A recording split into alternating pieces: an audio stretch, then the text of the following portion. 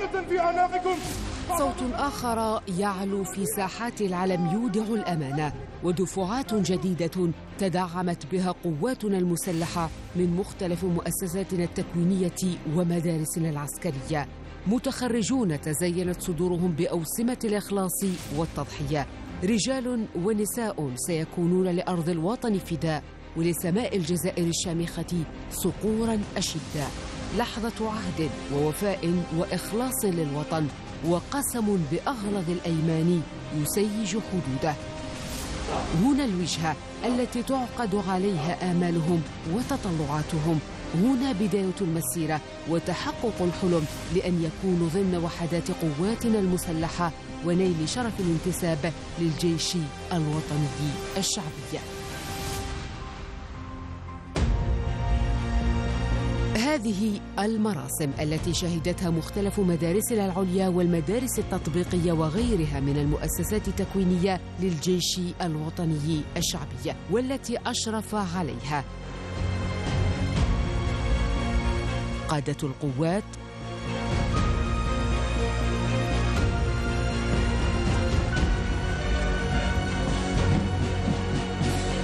قائد الناحية العسكرية الرابعة. رئيس دائرة الإشارة وأنظمة المعلومات. المدراء المركزيون.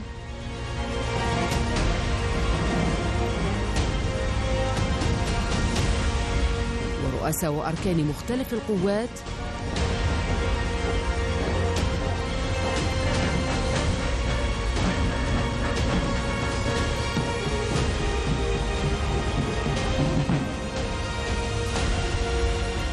مفتش قيادة الحرس الجمهوري ونائب قائد الناحية العسكرية الأولى. كانت بمثابة ثمرة جهود سنوات من الجد والعمل المتواصل.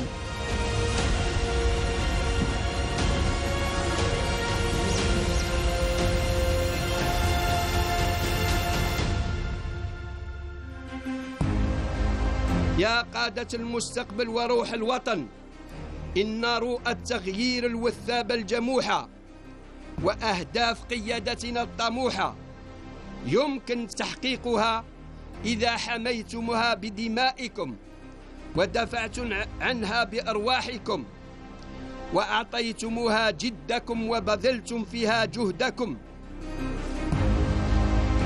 كونوا خير خلف لخير سلف قدوة بانضباطكم العسكري متحدين بالأخلاق العسكرية العالية. ومبادئ الدولة الجزائرية متفانين في تأدية واجبكم والذود عن وحدة وطننا وملتزمين بالقوانين والنظم وأوفياء بطبعكم مخلصين لقادتكم ومثالا لمرؤوسكم ولا يجب أن ننسى أبدا تضحيات الآباء والأجداد من أجل أن نعيش نحن أحرارا مكرمين في كنف هذا الوطن الغالي أن جهود مدرستنا لا تكتمل إلا بنجاح المتخرجين منها في حياتهم المهنية العملية العسكرية. شعارهم الانضباط الكفاءة والبساء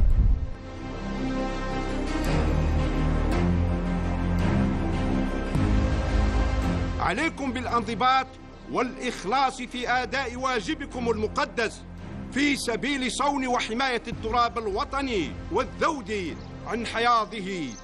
كما أوصيكم وأنتم مقبلون على مغادرة المدرسة إلى الحياة العملية بالتحلي بروح المسؤولية العالية والقيم الوطنية ملتزمين دائما بالحفاظ على الأمانة والوديعة وفاء لتضحيات شهدائنا الأبرار ومدافعين على مبادئ وقيم الجمهورية.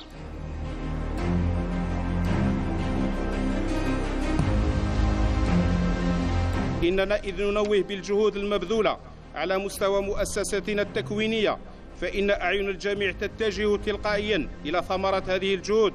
ألا وهم الرجال المتخرجون. والأكيد أن جهود المدرسة لا تكتمل إلا بنجاح المتخرجين منها في حياتهم العملية العسكرية. نجاح يطبعه التفاني الإخلاص الانضباط والأخلاق الحميدة نجاح يكون في مستوى سمعة الجيش الوطني الشعبي سليل جيش التحرير الوطني. أيها المتخرجون ها قد انطوت صفحة من صفحات مسيرتكم في صفوف الجيش الوطني الشعبي. صفحة كان فيها الجد والاجتهاد رفيقكم على الدوام. لحظة ودعتم فيها محطة دراسية هامة. كان نوعها التحدي والإصرار لتحصدوا ثمرة جهدكم وترفعوا قبعة الاحترام لإطاراتكم وأساتذتكم الذين يرافقونكم اليوم ويشاركونكم فرحة التخرج.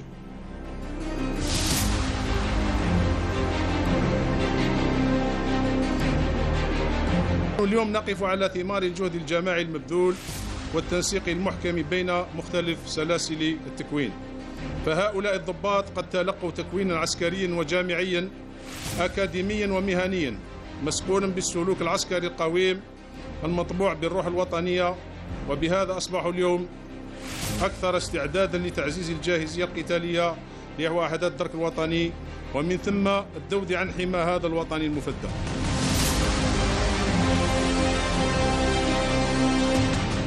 أوصيكم وأنتم تستعدون لمغادرة المدرسة. بالتحلي بالصرامة في العمل والإتقان وروح الانضباط باعتباره سر كل النجاح. كونوا أوفياء للقسم العسكري الذي أقسمتم به للدفاع عن هذا الوطن لتبقى الجزائر دائما شامخة قوية ومستقلة إلى الأبد. وهو ما يفرض عليكم من الآن التحلي بالعزيمة والإرادة لمباشرة المهام النبيلة التي تتطلب منكم الاستعداد الدائم لتنفيذها. بوضع المعارف العسكرية التي حصلتموها موضع التطبيق دفاعا على سلامة التراب الوطني وتطهيره من فنون الإرهاب واستئصاله من جذوره وبذلك تكونوا قد وفيتم بالقسم الذي أديتموه اليوم للدفاع عن الجزائر إلى آخر قطرة من دمائكم. لقد تلقت الدفعات المتخرجة هذا اليوم تكوينا عسكريا وعلميا متكاملا بمختلف جوانبه النظرية والتطبيقية في العديد من التخصصات سمح لهم بالاطلاع على العديد من المفاهيم العلمية والتكنولوجية وتمكينهم من أساليب ومتطلبات المعركة الحديثة. اليوم تمر سنة أخرى. سنة تتوج مسارا ثريا مكثفا تزود به أبناء مدارسنا التكوينية العسكرية. بكم متخرجون. نصون عزة الوطن وكرامته وتصورون حدوده بأجسادكم وتسهرون على أمنه وأمانه واستقراره. ببطولاتكم تكتبون حروف النصر وتعبرون عن وجدان الشعب الجزائري وتحمون قيمه وتطلعاته. وبتضحياتكم تحافظون على وحدة الوطن وترابه الطاهر وتبذلون الغالي والنفيس كي تبقى رايته خفاقة عالية.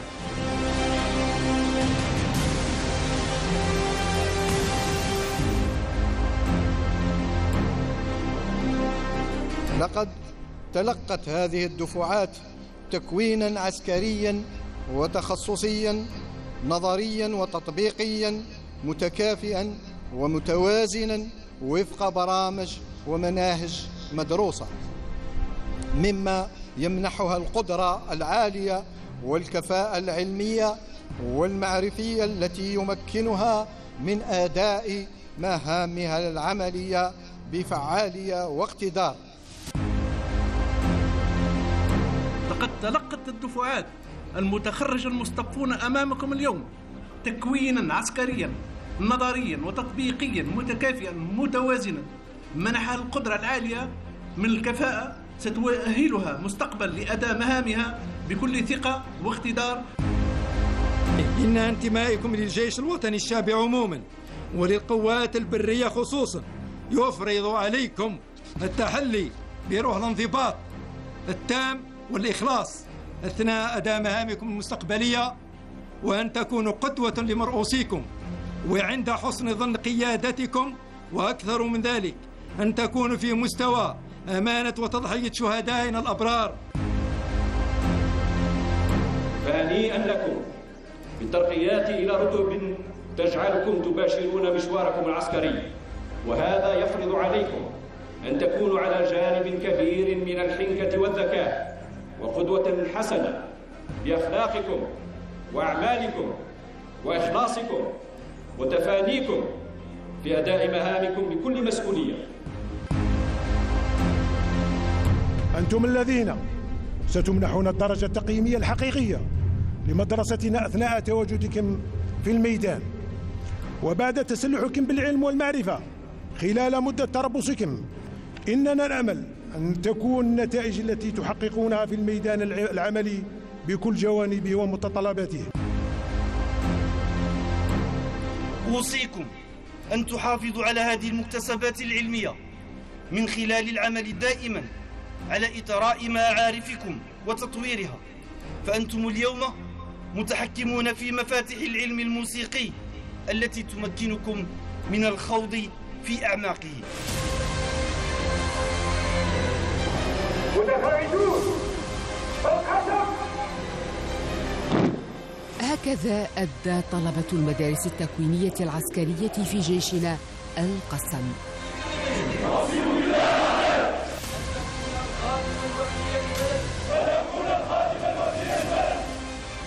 قسم بأغلظ الأيمان في الحفاظ على عزة وشموخ وعلو هذا الوطن ليضعهم على السكة الصحيحة لأداء مهامهم بكل أمانة ونزاهة. هؤلاء الطلبة المتخرجون يدركون أن قسمهم على صون الأمانة هو هدفهم الأسمى لرفع وإعلاء عزة الوطن. ولسان حالهم يقول بأننا مطلعون بخدمة بلادنا وشعبنا يحملون على عاتقهم أمانة شهداء الثورة وشهداء الواجب الوطني.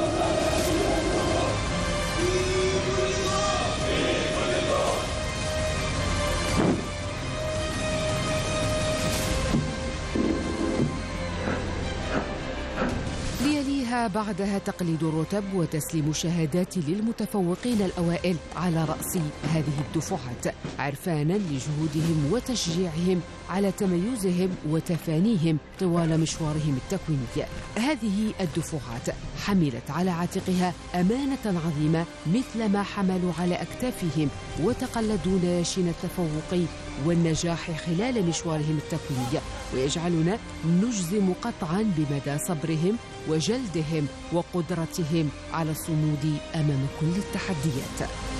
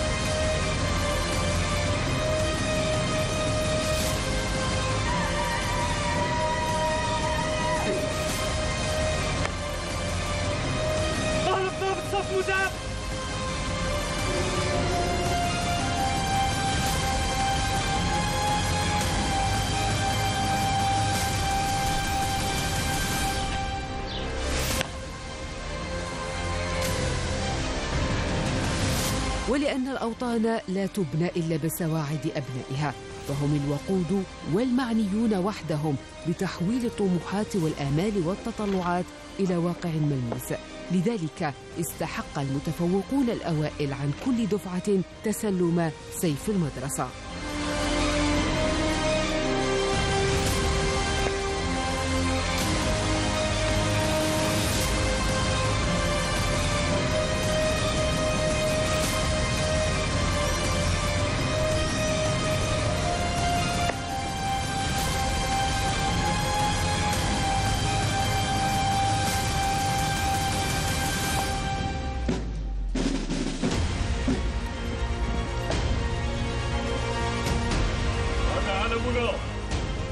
العواصف التي عصفت بالأرض الطاهرة والأجساد وظنت أن الوطن سيستقيل يوما من ذاته.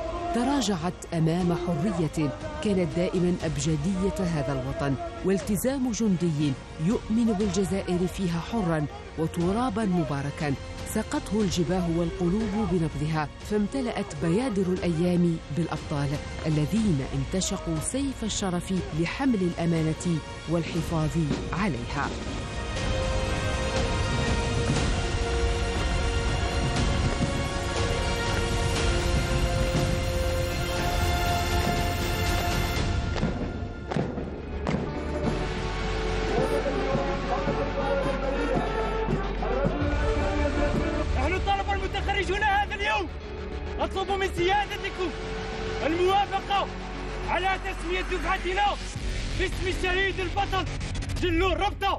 طلب قبله المشرفون على هذه الاحتفالات.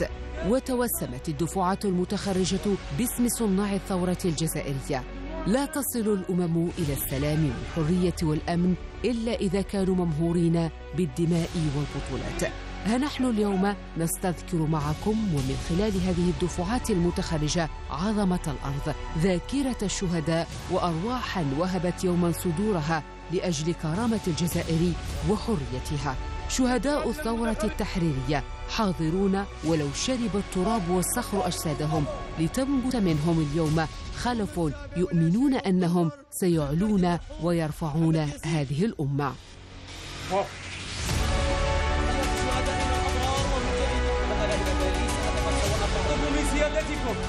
الموافقة على تسمية دفعتنا باسم المجاهد المرحوم بن مبارك محمد زيري شهيد البطل زروقي ميلود بطل واحد التجاري صغير عمر أندرس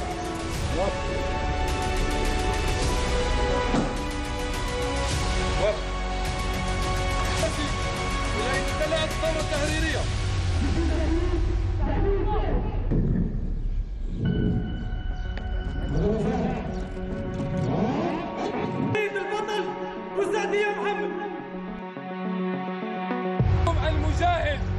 البطل شرابة علي.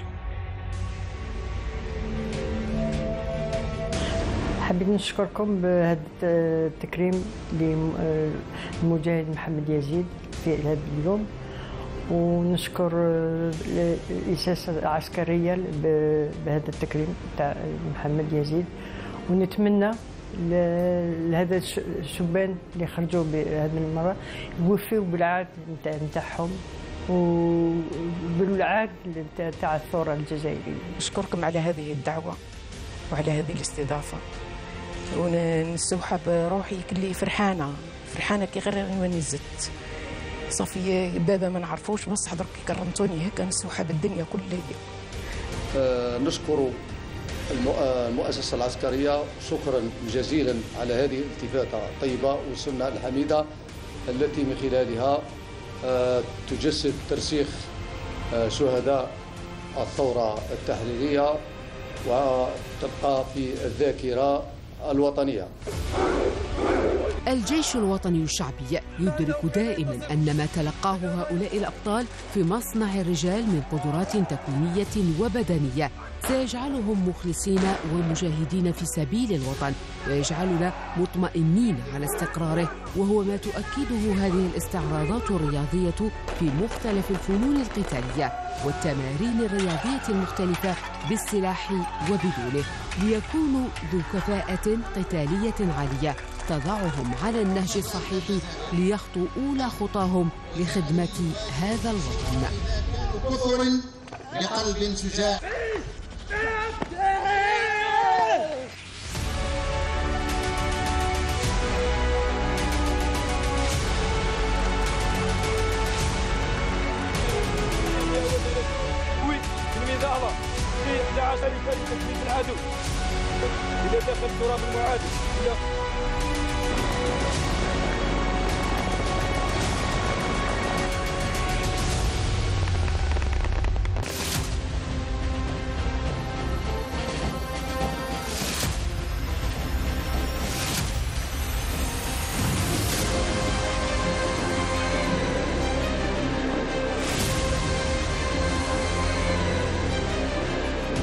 وبخطى ثابتة واحدة وموحدة وعلى أنغام الموسيقى العسكرية سارت التشكيلات العسكرية لمختلف مدارسنا التكوينية في استعراض مبهج نحو ميادين الشرف تتقدمهم مجموعة العلم على أنغام الموسيقى العسكرية معلنين بذلك توديعهم مرحلة مفصلية مهدت لهم طريق المستقبل للولوج في الحياة المهنية.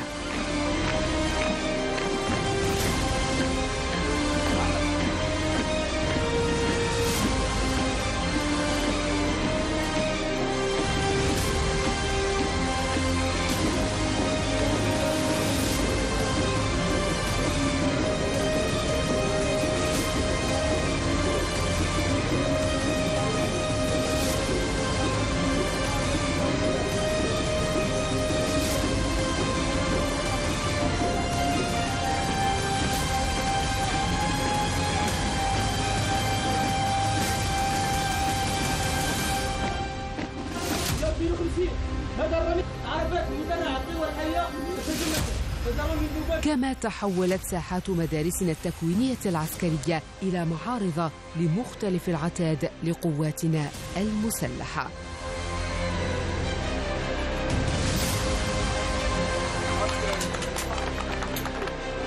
على هامش الحفل تم عرض مذكرات التخرج للطلبة في مختلف التخصصات.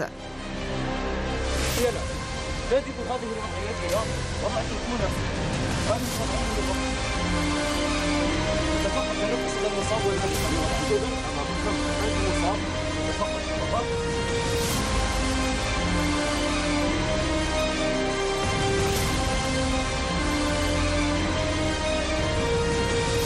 أن شاء الله ربي يسترنا ويبعدنا على وكان ختامها مسك إذ وقف المشرفون على تكريم عائلات الشهداء والمشاهدين الذين تشرفت الدفعات المتخرجة بحمل أسمائهم.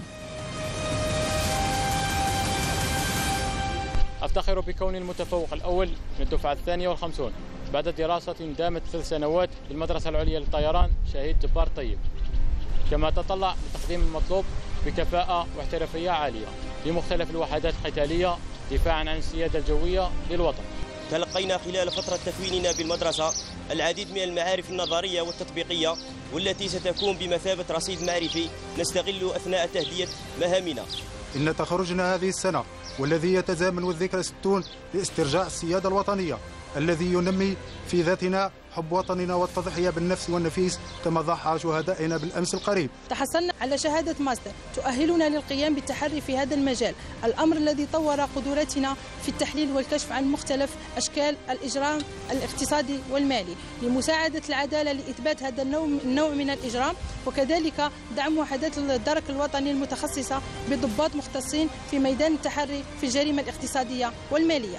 أتوجه من هذا المنبر بالشكر الخالص والجزيل إلى قيادة المدرسة من إطارات ومستخدمين على توفيرهم كل الإمكانيات والوسائل. لتحقيق الأهداف المسطرة من طرف القيادة العليا للجيش الوطني الشعبي. نحن اليوم نتخرج يعني من المدرسة العليا العسكرية للإعلام والاتصال كضباط مستقبل كثمرة لهذا الجهد المبذول طيلة هذه السنوات. ومن منظر هذا أهدي هذا التخرج إلى الوالدين والعائلة الكريمة وإلى كافة إطارات وضباط المدرسة العليا العسكرية للإعلام والاتصال التكوين بالمدرسة كان تكوين عالي المستوى شامل الجانبين الأكاديمي والعسكري وبمناسبة تخرجنا اليوم أهدي هذا التتويج بهذه الشهادة إلى جميع أفراد أسرتي الكريمة وإلى جميع زملائي. بعد سنة كاملة من الاجتهاد ها نحن اليوم نتخرج من مدرسة الموسيقى لقيادة الحرس الجمهوري حيث تلقينا في هذا الصرح العلمي دروس في العلوم الموسيقية والعسكرية. مما يؤهلنا لأداء مهامنا على أكمل وجه. أولا وقبل كل شيء نشكر الله عز وجل على توفيقه لنا من خلال النتائج المشرفة خلال هذا التكوين العلمي والعسكري. كما أشكر قيادة وإطارات المدرسة العليا للدفاع الجوي عن الإقليم. كان لي الشرف العظيم أن أحوز المرتبة الأولى بدفعتي وذلك بعد المجهودات الكبيرة خلال ثلاث سنوات في المدرسة العليا للإدارة العسكرية التي تلقينا فيها تكوينا. سيساعدنا لا محالة على تأدية مهامنا بكفاءة في المستقبل. سعيدة جدا بهذا اليوم الذي كرمت فيه لتفوقي في دفعة المتخرجة وسنسعى للعمل دوما بمسؤولية وكفاءة لخدمة الجيش الوطني الشعبي. بعد الانتهاء من تربص دورة إتقان الدفعة الخامسة والثلاثون وهذا تزامن مع الذكرى 60 لاسترجاع السيادة الوطنية وتجديد العهد مع ثورتنا المقدسة. تحيا الجزائر المجد والخلود لشهدائنا الأبرار. للشرف أن أكون المتفوقة الأولى لهذه الدفعة في هذه المدرسة. هي قلعة تكوينية منها كانت الانطلاقة. فنحن طلاب الأمس ضباط الغد. نسعى لتكملة مسيرة السلف بكل إخلاص واحترافية. وجاء هذا بعد عام حافل بالمجهودات. إذ تلقينا دروسا تكوينية في مختلف التخصصات العسكرية حيث كانت هذه الدروس كافية لنا لزيادة رصيدنا المعرفي من أجل تطبيقها ميدانيا. وهو ما يحفزني أكثر فأكثر وبالقدر الأوفى على تحصيل العلوم والمعارف وتحلي طوال مشواري المهني. طوال مشواري المهني بالانضباط والسلوك القويم حتى أكون خير خلف لخير سلف. أعتز وأفتخر بتخرج هذا اليوم من أحد القلاع التكوينية المتخصصة في سلاح المشاة كرقيب متعاقد. حيث قدمت لنا المدرسة العليا للمشاة الشهيد جلول عبيدات تكوينا علميا وعسكريا تمكنا من خلاله التعرف على مختلف الأسلحة وكيفية استخدامها في المعارك. تلقينا خلال هذه الفترة عديد من المعارف والمكتسبات العسكرية التي تساهم في أداء مهامنا المستقبلية وهذا بفضل إطارات وأساتذة المدرسة الذين نشكرهم نحن بدورنا نظير مجهودات المبذولة. فخرا لي أني اليوم أنتمي إلى صفوف الجيش الوطني الشعبي وأن أساهم في الحفاظ على أمن واستقرار بلادنا. وها أنا طالب الأمس ضابط اليوم. تحققت طموحي الذي كنت أسعى إليه.